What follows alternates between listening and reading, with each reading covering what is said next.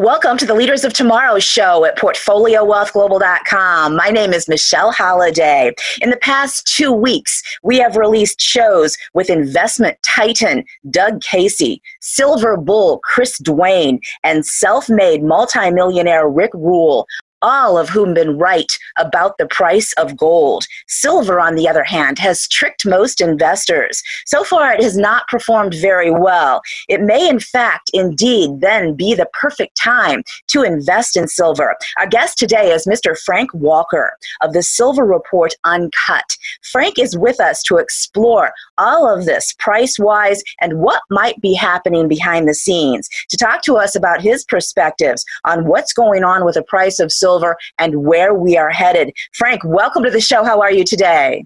I'm doing pretty good. How about yourself? Just fantastic. And we are all lovers of silver here. So it's great to mm-hmm. have you here to talk all about it. Let's start off with the reasons why this is happening. Silver is really continuing to underperform in comparison to other precious metals. What is your explanation for this because it's been going on for years and everyone's predictions are always that the price is just about to take off and then it doesn't. So what's really happening behind the scenes? Well, the main difference is, you know, fundamentally it's the buyer. There's a couple different factors at play. Number one, these markets have no price discovery. These are not reflective of the actual physical, you know, demand for gold or silver. But really, the big factor that has led gold to such a tremendous performance in 2019, it happens to be the type of buyer.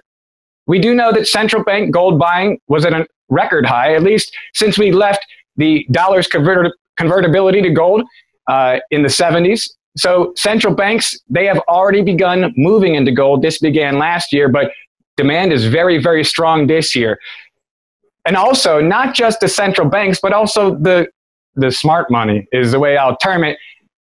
While the retail investors may not be awakened to the problems with their economy and they put an enormous amount of effort into making sure that nobody really understands our economy for this reason.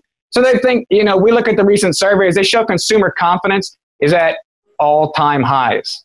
And, you know, I, I believe only half of what I see, but nevertheless, um, this means that uh, people are still pretty much asleep, but the banks aren't, the wealthy aren't, the rich and elite aren't.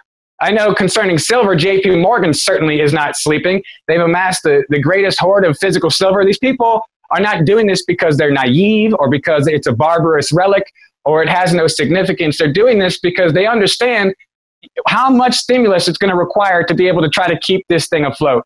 I want to point right now to what happened to China, just for example. And um, they had an enormous stimulus package, enormous. And don't worry, everybody, they're going to come out and they're going to prop up these markets. And you know, the, the day that they open, it just swallowed it right up. And it just shows you, it screams how much stimulus is going to be required this time around. So people have not awoken to that yet. The central banks, the wealthy, the elite, they have. That's the reason why gold had such strong performance in 2009. But make no mistake, for the common man, the average man, and if you look at those surveys as well, that shows that the majority of us were not rich.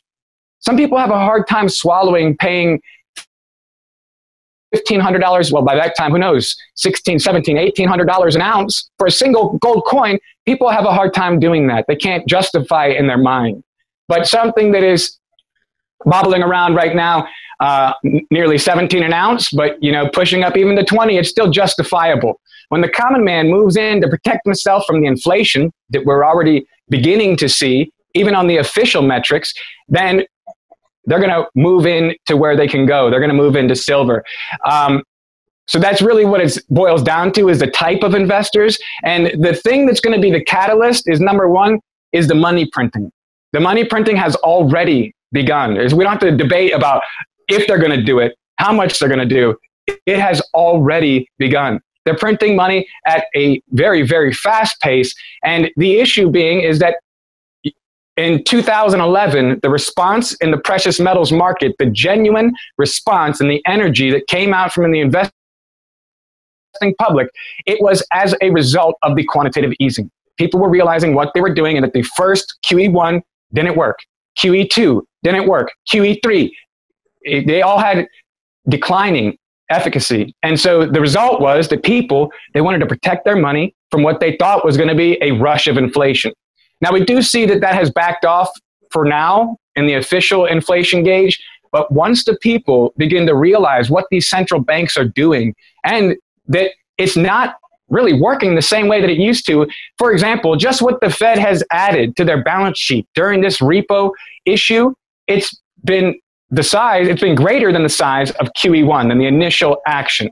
So this is just during, you know, a market readjustment is what Powell is calling this. So what we see moving forward is a, is a great, great opportunity for silver. And what we really need is for the people to begin to start waking up. And, you know, once we start getting, because it's not necessarily the stock market crash. And what I want to caution people about is when the crash comes, don't, do not be surprised if silver and gold come down with it. And they may come down a significant portion and it may get a lot of people concerned. Do not be surprised. This is normal because it's not necessarily the stock market crash or an economic crash that makes people buy silver. It's what the Federal Reserve is doing with the US dollar. Now, the same actions they were performing before that gave silver and gold that tremendous energy that they did need to suppress, and they're doing it again. And so as soon as, and you know, he's very, very careful with his words. This is not to be confused with the large scale asset purchases of the past. This is definitely not a QE. And honestly, the Wall Street consensus is this is a QE, and the end result will be some energy in precious metals. So, yes, it is, I still think, a wonderful time to buy. Absolutely. It seems to be an incredible time for silver. Turning now to the topic of price manipulation within mm-hmm. the world of precious metals. Have you ever actually witnessed price manipulation in silver on the COMEX trading? It happens all the time. You know, the, the interesting thing you say about this is that they're beginning to address this, it seems. Now, I don't believe the effort is a full effort yet, but we do see that they just recently brought in, you know, J.P. Morgan and Chase under RICO charges, which would be racketeering, and they're going out and they have an organized effort to manipulate the price of silver, and they were found guilty. So this isn't just you know, a rumor. This is really happening. The large banks have been very involved with it. What I think they're doing now, and the reason that we're only hearing about it now, because this has been around in our circle for a long time. We know. We know. We've seen, you know, how quickly things can change. But just these revelations that we are seeing it confirmed that these big banks have been manipulating the price of silver and that now we have the, them coming out and saying the regulators from the US saying that they're going to put an end to it. They're going to make an example of it. Now, I don't believe any of that. I don't believe that they're really going to, um, you know, touch in uh, too deep, not where it really matters. But it's, it's good that this conversation has begun because it's constant. In fact, the entire COMEX market is a giant manipulation. Every year, if you look at like things like the Silver Institute survey, which measures the silver supply, it takes in not just what is mined, but also recycled silver, which if the prices are rising right now, you are seeing some of that activity going on, which is you know, people cashing in their gold or silver just to take advantage of the price. So they measure all of that. And what they find with all of the silver combined, we run a deficit every year. And we have for, I think it's 10 years. Um, I have to go back and check the exact amount of time once we crossed over into this. So there is literally not enough physical silver. And yet on the COMEX market, you have hundreds of millions of tons that just don't even exist. And ultimately it's a, it's a, it's a game. It's a game. And they use this to get people concerned. And actually, there's documentation about the gold futures, which is where they began back in the 60s when they wanted to start, you know, getting this going. And the reason was to cause people to have doubt about the stability of the gold price. They wanted to be an agent of, you know, fear. To, yes, agent of fear in the gold market. So the entire reason it was created was to to change the hearts and minds of the people because it used to be money. We used to walk around in this country and have gold coins, silver coins. They were our money. And it, people loved that. Whenever they wanted to go switch this over, people were not all turning in their gold. They were holding on to it. So they needed to start working on the hearts and the minds, changing people's perception of gold and silver. And somehow they did a wonderful job convincing people it's super volatile. But I don't think that maybe you watch the FX trading markets. If you watch the way the dollar trades on a daily basis, I think if people understood that there are markets right now where people are buying and selling stocks that we call currencies. So the dollar is one of those stocks. Right now, the FX markets are getting demolished for emerging markets, so everyone is buying the dollar. So what those buyers do with their money matters for the value of the US dollar. This is very, very alarming. Honestly, it's because the dollar has no true value, only faith. Now, what happens if these investors change their minds or they start getting some bigger returns on, say, the euro or maybe any other kind of currency? The, the stage we're at now, though, is that we are making the world upset. We're making the world upset with our policy and the way we utilize our economic restrictions on different countries. They don't like it, and we do have that control. We rule the world with the dollar. Now, if enough of these countries, these investors get together and decide they no longer favor the dollar or just out of principle, they're not going to hold the dollar because some people get those kind of ideas sometimes whenever they have their economy falling apart. But then they could all gang up and we could see an issue where the dollar could drop in value in a heartbeat is the, the short point of that is that what holds it together right now is nothing more than hope than hope. Gold and silver is solid, is tangible, is in your money, is in your pocket. It's it, it gains. I mean, if we look at the price of gold, that's not what we really need to, you know, examine because the price of gold is only reflective of pretty much the collapse of the US dollar and it goes in proportion. We have these huge gap ups, like you know, gaps up, like we did uh, in the mid 2000s, and we've kind of just been floating up here near these all time highs in gold price. And people act like $1,000 an ounce of gold when we drop down is a bad gold price. You have to understand this stuff was $35 an ounce going back, you know, 40, 50 years ago. So this has gone just about parabolic as it is. And it's just a steady stream. When in doubt, zoom out. When you look at the long term history of gold price, silver price, honestly, we used to have, you know, our pocket change was silver. So you talk about the silver dollar is now probably going for $20. And is it exactly equal with inflation? No. Actually, inflation adjusted, silver is just absolutely, uh, you know, it's just unbelievable that it could be this low. It is the lowest in history, inflation adjusted. We've never actually seen silver this low, and it looks like it's high because of the price, you know, um, in dollar terms is high. But what that really is is the fact that those dollars they don't go as far. The money printing has an effect, and so what you're really watching is not the rise in the price of silver and gold, because what I view silver and gold as being extremely stable. Yes, there are times of volatility, but we don't want that. You don't want silver that's going to jump up $10 a day. You might think you do, but these kinds of moves that quickly, they're not normally sustainable. And, you know, we have been climbing. Silver has been advancing. All we need at this point, as you can tell, is a strong wind. And it will come in and radically change the consensus of the populace. I think that, you know, as we've seen recently, the wrong string of headlines, even though it seems like the Dow is invincible, it seems that way. These policies, there's a limit to what they can do. We look at, you know, Japan, the perfect example. They've pretty much have just faded away into irrelevancy on the world stage. And this was formerly the number two most powerful economy in the world. Everything was made in Japan back in the 80s and into the 90s, and they have just never recovered since their stock market crash. I mean, it almost brought the world markets down. They were pretty much the pioneers that, that were spearheading this quantitative easing movement. Then in 2008, everyone is doing it now. You need to understand this was only an idea, and it was a bad one. It was such a bad idea that it was never implemented the entire history in the United States of central banking.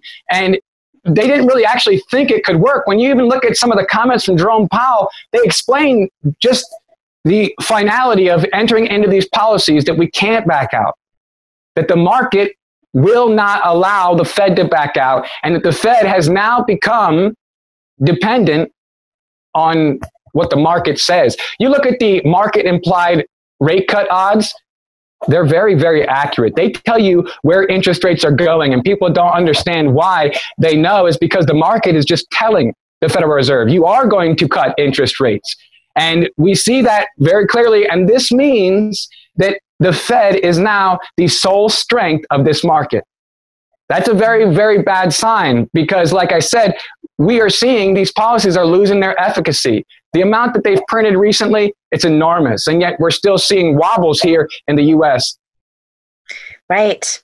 And um, the repo market has just taken over, and most people mm-hmm. don't even realize that this is happening. And we are having mm-hmm. billions and billions of dollars printed, and the impact on the value of our money is just devastating.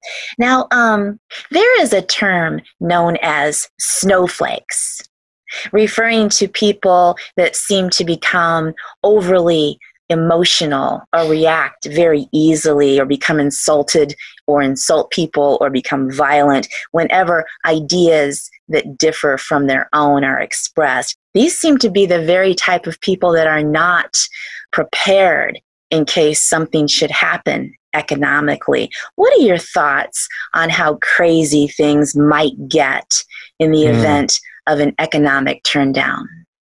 I'm really concerned about how bad things are already getting.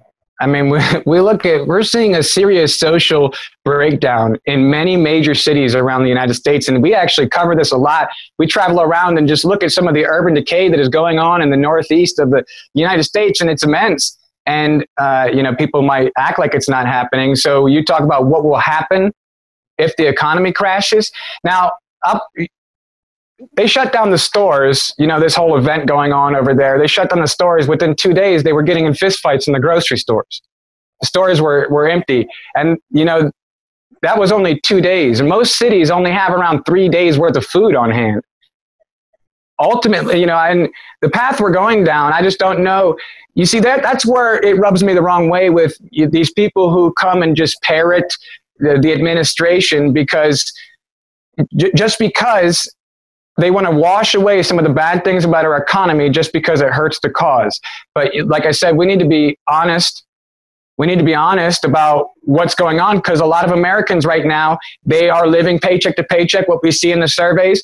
And more than that, it's not enough because there you see the debt in the 80s, debt, personal consumer debt was just about unheard of when you compare it to what we're seeing today. So we do know things have changed and the living standards have changed. It's just the human mind has an amazing capability to just adapt and to accept its surroundings. So we don't get mad, but we got to look up and realize, you know, it's already crumbling.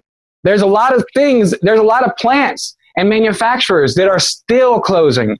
It wasn't a thing in the past that we talk about and examine and see how to fix. It's still happening. Manufacturers are closing left and right in the US, not because of any kind of, you know, outside event. It's happening now because profits in US corporations have been declining since 2014. So we need more than the stock market. I do admit some of the changes in trade are better than what we had. But these things take time. We can't pretend like those changes are already in effect now. We need a real recovery. We don't need to just say it's recovered, bam. We need a real recovery. I think there's been enormous strides towards that end that we've seen recently, but it, I, I really believe it's too little, too late. The volume of, of our debt is this nation, the amount that they're printing, literally, we're going to need to do something about the dollar, and it's going to be soon. We have, you know, the president who says that the dollar is valued too high, and, and that's a problem for the manufacturers, and that's true. That's also true. So their goal is to devalue the dollar even further. That's why they say there's no inflation. That's the entire reason they say there's no inflation. Well, there's actually more than that. So they don't have to increase the Social Security either. So they have an enormous interest to cover up some of the things that are going on in our economy. And all you ever hear about is the same three data points like the unemployment. People don't realize the unemployment rate troughs before every recession. A trough is the low point, it bottoms. So any uptick in the unemployment at this point, that means that we've probably already begun to see the downfall. And it has. I mean, it's, it's low. That's not uncommon. It's not uncommon for the market to break out to new highs within three months of these huge, dramatic stock market events. Nothing right now that is going on in the economy would suggest that a recession is not imminent. There's nothing that would suggest that. There's no evidence. Mm-hmm. Now, there's hope, there's green shoots, there's things that maybe could look positive, but right now it's amazing how confident the consumer is because we look at quarter four spending for the holiday it was it was it was definitely lacking the energy especially of november. So shopping in december was lower. We have durable goods new orders it's, it's dropping. We have an issue right now so the consumer is confident but they're not spending. They're not spending. And they show you the statistics they show you like the year over year rise in retail sales. They forget Last year in December, retail sales came in with a drop of 1.2%. It was huge. Everybody was like, this can't be real. So when they show you the rise this year and try to tell you how great it is, we really need to look a little bit deeper because I mean, it's already, the evidence is already around us of the decay, of the decline, and the social changes that we're seeing right now. This is really the evidence because that's the kind of thing you begin to see in tough economic times. We see the for the the birth rate is way down. We see you know home ownership is down. A lot of key metrics that would suggest would be rising in an expanding economy, and they're they're not expanding. None of the data points are suggestive that this is currently an expansion. Right. And yes. And well, you mentioned something. You hit on a very good point in that um, the president basically has had to go in and mm-hmm. renegotiate every trade deal that we've had with everyone all over the planet because we have had decades of just really bad business ship. He's a businessman, thank God, but the strain and the result of what has basically ended up giving all of our money away to other countries for so long has put us in a situation that's very scary. And um, since he's gone in and done this, do you think what is happening is it's too soon to say, okay, I've renegotiated everything, I've fixed everything, we're fine? So, what you're saying is this is going to take time, the results mm. of what he's done. Um, talk to us a little bit about the timing that you see because it's a really excellent point because after so many years of all of our money being given away we have watched our cities just detroit and chicago and the northeast mm, and everything boy. you're talking about just fall apart. And the past three years he's done an excellent job renegotiating but how long do you think the effect is going to take? All right um, I think you know. Let me just touch on one subject for a second. They yeah. they got them to agree to a raise of the average wage for auto workers in Mexico to sixteen dollars an hour. What a great victory! I just, I mean, because honestly, that could do so much, and they had the requirement of the increase of percentage of auto parts that need to be produced on this continent. So those two things alone, I think, are just monumental. As far as timing, we don't even have people trained to manufacture the way they do right now.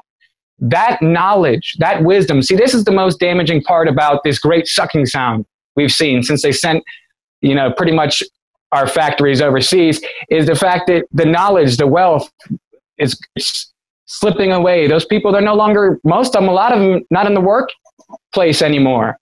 So those skills weren't handed down. It's going to take time to train people to be able to produce things again. It is of utmost importance because there was trade-offs. There was a trade-off. We didn't get nothing for the deal. What we got was a strong dollar. It's called the strong dollar policy. And therefore we could buy the world's junk made goods for really, really cheap. But there comes a point where this kind of a policy reaches its end as well. Because eventually you don't have any money to spend. If you're not producing anything, if you don't have any quality jobs, if the jobs you have are only either working for the government, working for healthcare, everybody can't be a nurse. Honestly, so if the quality of the jobs that we have here, it just it's going to take a complete and total change. We have moved away from production. We have moved away from manufacturing. Nobody even would even consider a lot of that hard work these days.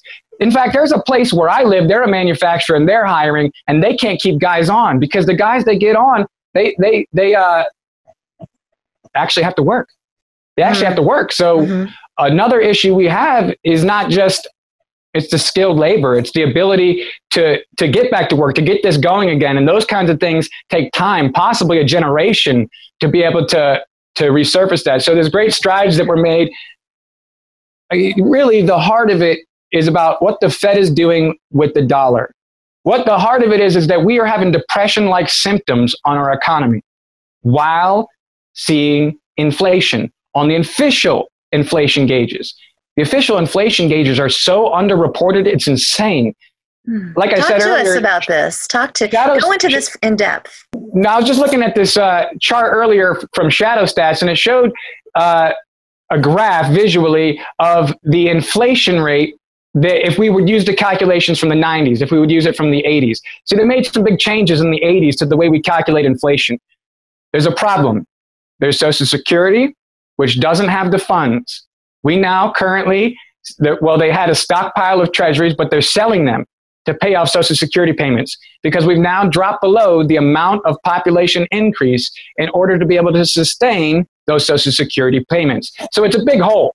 It's a big gaping hole. And the way, and if they were to report the real inflation, imagine how much they would need to adjust those payments going out.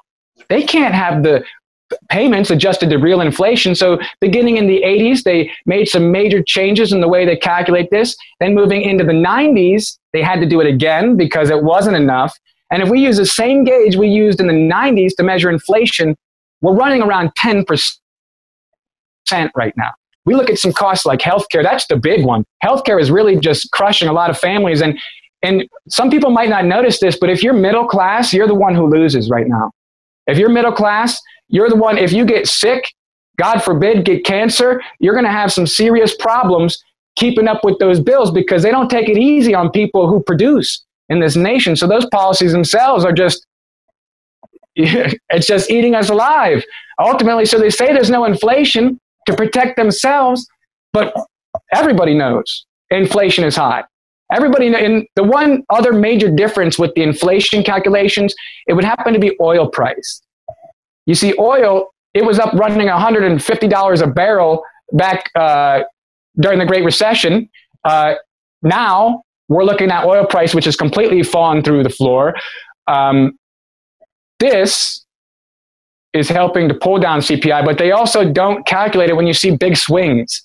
With the housing prices, if we see big swings in the price, they don't calculate it on the inflation gauge because it would throw off the metrics. So they just completely void the information. If there's a huge jump in rents, huge jump in prices, they just avoid the information entirely because they would believe it's not a great representation of the flow of the inflation calculation. So it's really a joke. It's designed to be underreported.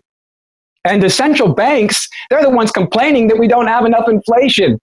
I just saw this article where they were explaining that you know they need to run inflation much hotter that inflation is just too low and their perception you understand what inflation really is let's get down to the raw definition it's them devaluing the currency by 2% every year it's making the dollar worth 2% less every year and if they feel like it's not enough they want to increase it to 4% they want to increase it to 4% but the way we're going now, honestly, we're going to lose control of that decision making power about where we want inflation to go. So we have depression like symptoms, we have inflationary things happening. This shouldn't happen. This is a very strange phenomenon referred to as an inflationary depression. In the Great Depression, it was very deflationary, very heavy. And if you look at deflation historically, it used to go down. We used to have deflation every time we had a recession in the Great Recession, it was very, very minute. It was that how bad it was. But besides that, we don't have deflation anymore. All we have now is inflation. We don't drop down. Prices don't really have deflation. And you know what? They've told us the story of the past 10 years is a story of deflation. And that it's just impossible. It's not true. Right. Right. You know, um, I've, I've spoken with many people that discuss you know the great depressions that took place and one of them mm-hmm. was wayne jett he he has an incredible um, book out um, about this specifically and it's really interesting because he talked about that during the depression that um, it was manipulated so that people with money could go in and buy things on the penny pennies on the dollar because there was such a rapid deflation during mm-hmm. that depression. Everything became so inexpensive.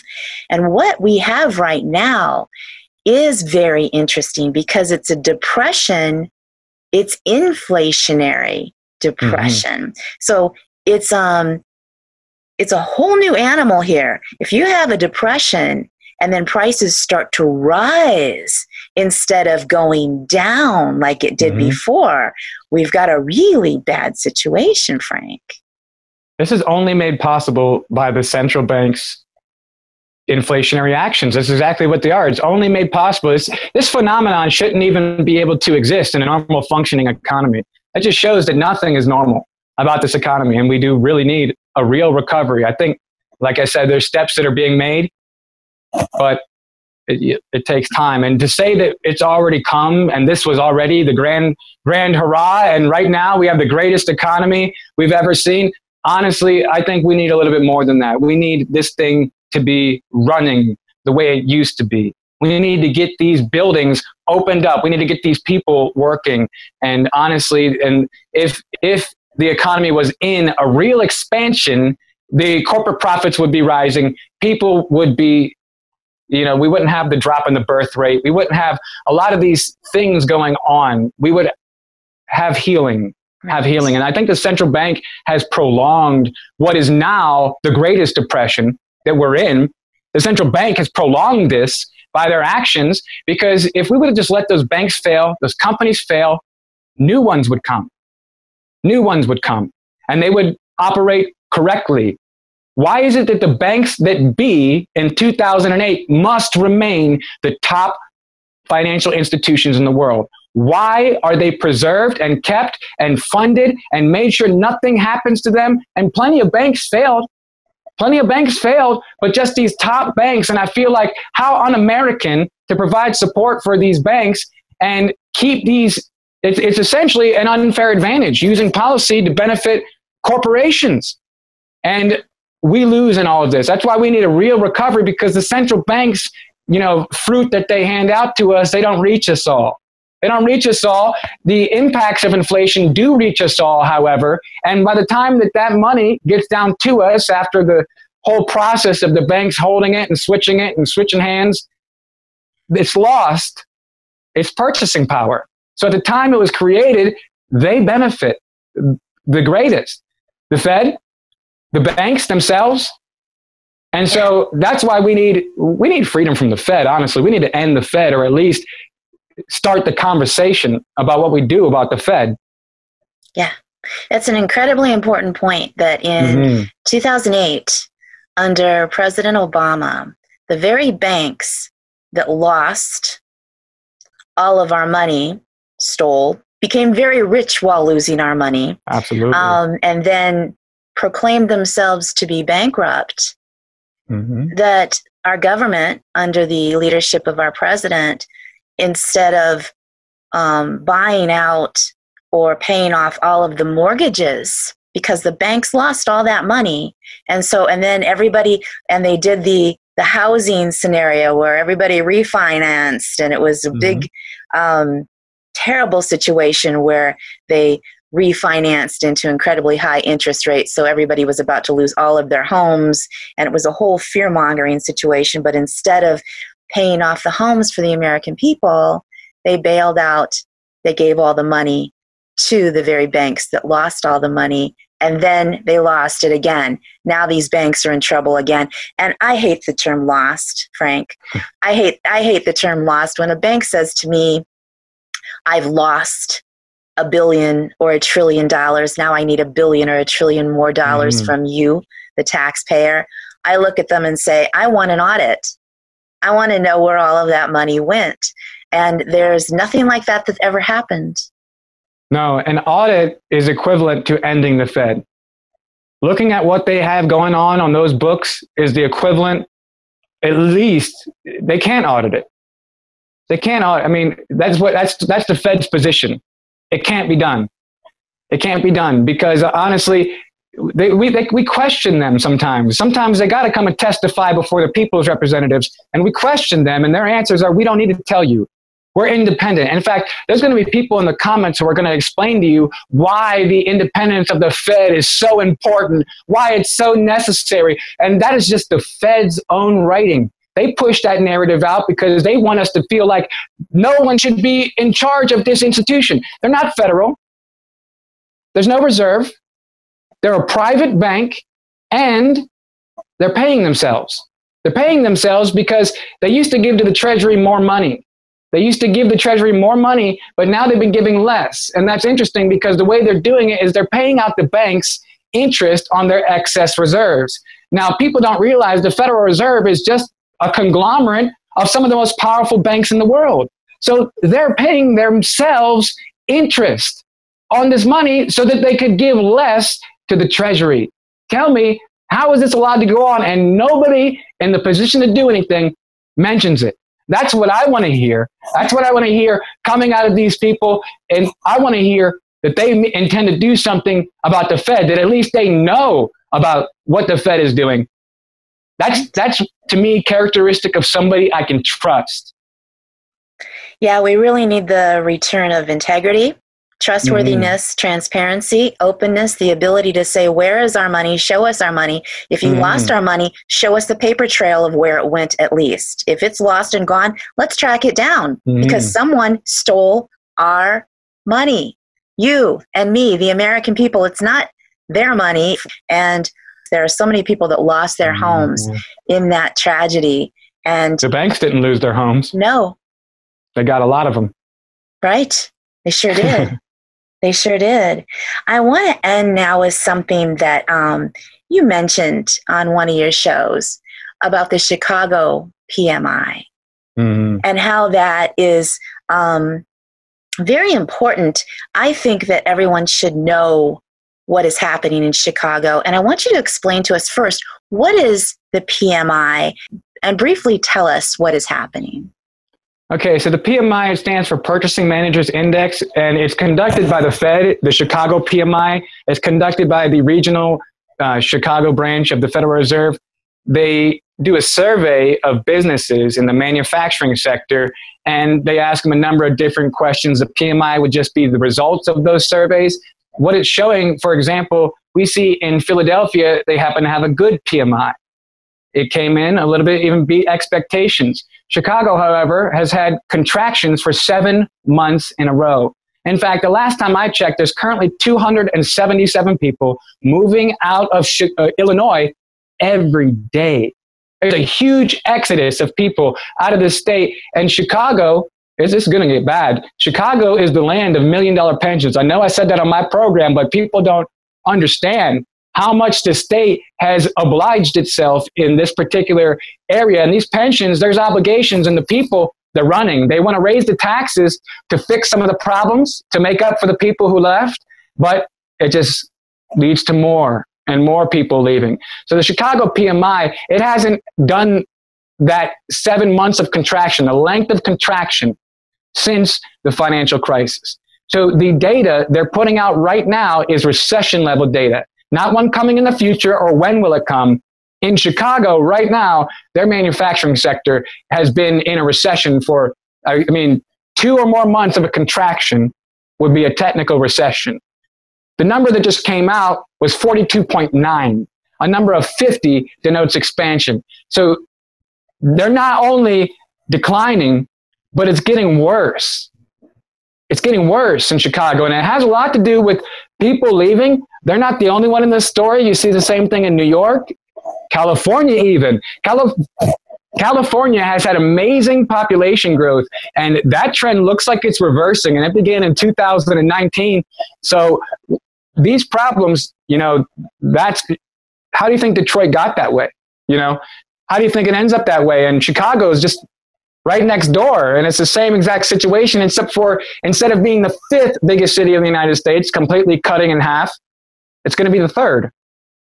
Chicago is significant regionally. It's just a beacon for its entire area. It, it's the linchpin that holds everything together there. And if Chicago is hurting, just wait until we see what's going to be going on in the surrounding regions. There's so much that literally depends on that income, including the Illinois representatives.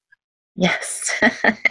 now, Frank, what do you see as the cure for everything we've talked about here? I mean, we've talked about the precious metals mm. price and um, the people that are vacating the large cities and the dilapidated conditions that we have in the Northeast and the Federal Reserve. Um, talk to us about what you see as the overall solution here, besides the president's renegotiation of our trade deals worldwide, which, as you made a very important point, it's going to take time for mm-hmm. us to really recover. And during that time, the Fed continues to print money. So, will we recover? So, we would need to reduce the size of the government by 40%, probably. That's, that's probably the main problem we got here. Honestly, we don't need this many people to do such a poor job. You talk about spending, they, they, people are upset. They're generally upset and they believe that we should have higher taxes. There's people out there who have been convinced that having high taxes is good. And look at how these people manage money. No matter who's there, we're running trillion dollar deficits. We got enormous debt. That is absolutely the last people in the world that I think should have our money.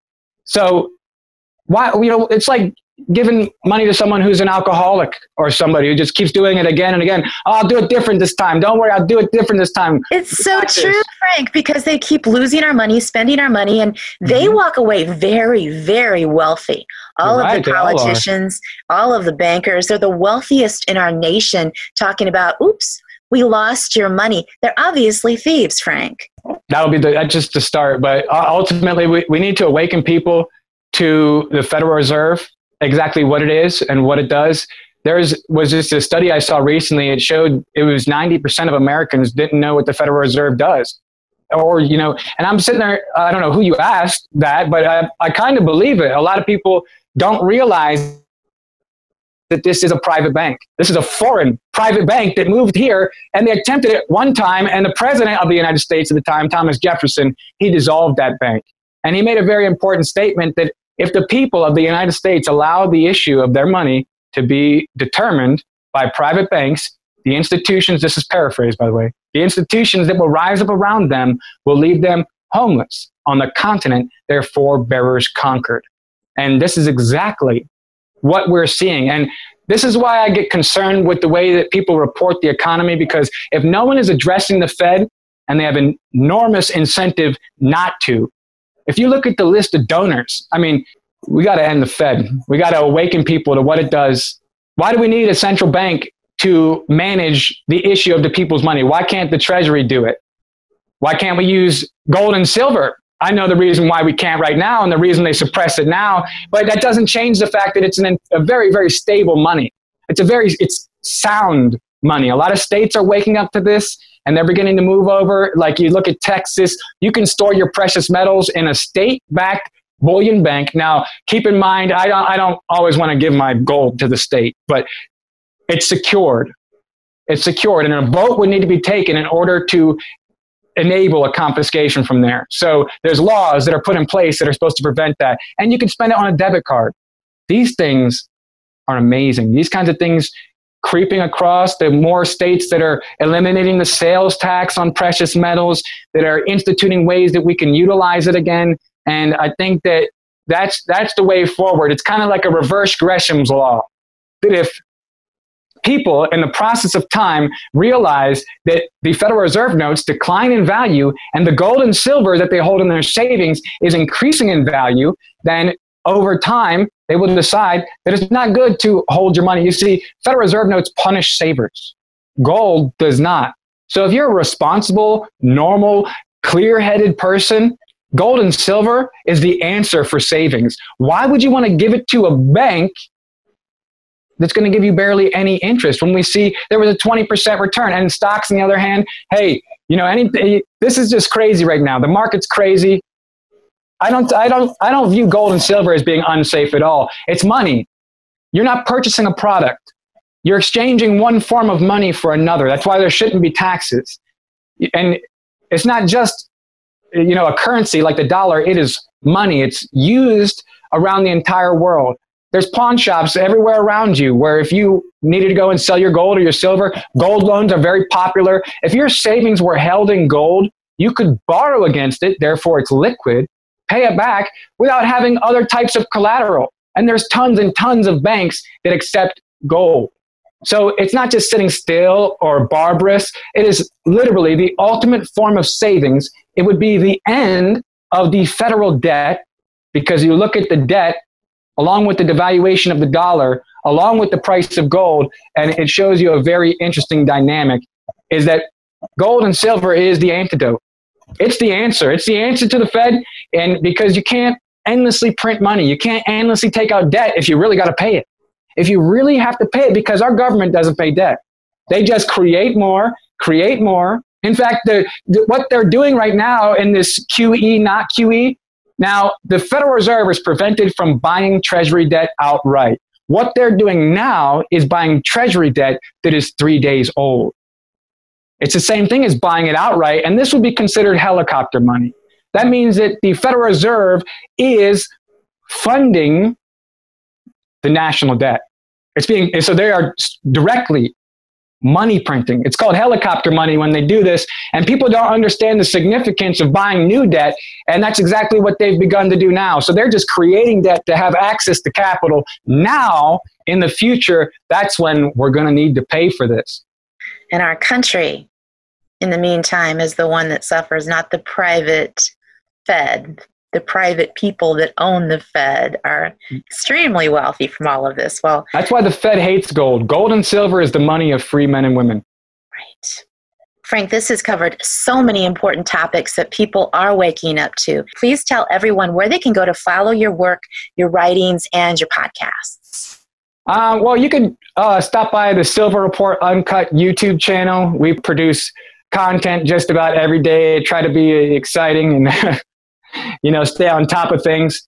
So uh, this is Silver Report Uncut. Yep. Great. It's good stuff. Frank, thank you so much for coming on this show today. Hey, thank you. Mr. Frank Walker, host of Silver Report Uncut YouTube channel for the leaders of tomorrow's show. I'm Michelle Holiday at PortfolioWealthGlobal.com.